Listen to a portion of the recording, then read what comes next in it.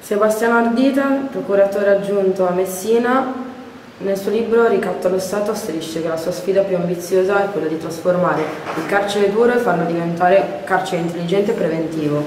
È conciliabile secondo lei prevenzione e rieducazione quando si parla di 41 bis? Ma indubbiamente prevenzione e rieducazione sono le due facce di una stessa medaglia. È chiaro che il 41 bis riguarda i capi delle organizzazioni mafiose e in quanto tale è una misura estrema, non è una misura eh, di tipo ordinario.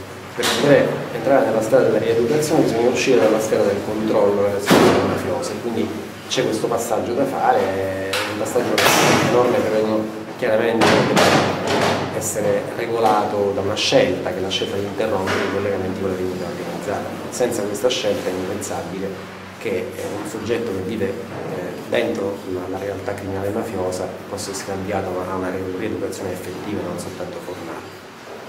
Si può sintetizzare la trattativa tra Stato e mafia come un conflitto tra poteri dello Stato? Beh, guardi, il conflitto tra poteri dello Stato non può esistere nella misura in cui lo Stato non solo grande interesse che alla ricerca della verità dei fatti. Se ci sono pezzi, persone, individui, singoli che hanno svolto ruoli nell'ambito dello Stato che non hanno svolto in modo fedele, queste persone devono rispondere di quello che hanno fatto e non devono frapporsi rispetto alla ricerca della verità. Io ritengo che lo Stato tutto intero abbia interesse in questo fatto e questa vicenda con tutte le altre a fare chiarezza e a cercare soltanto la verità. Abbiamo appena detto che lei è procuratore aggiunto a Messina. Cosa Nostra in questo momento tace? È perché si sta riorganizzando o si, si aspetta qualcosa in futuro?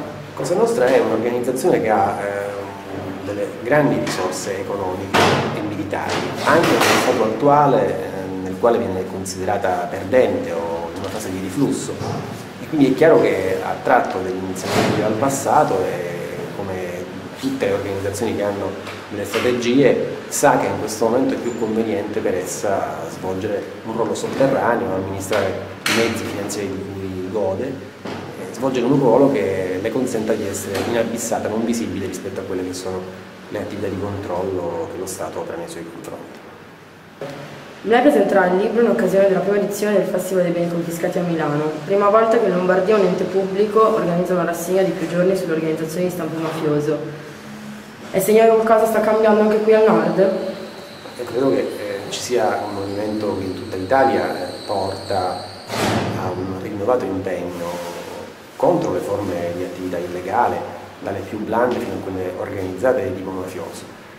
Qui al nord esiste una eh, scoperta del fenomeno mafioso che fino a qualche tempo fa eh, era persistente, e radicato, ma non veniva riconosciuto.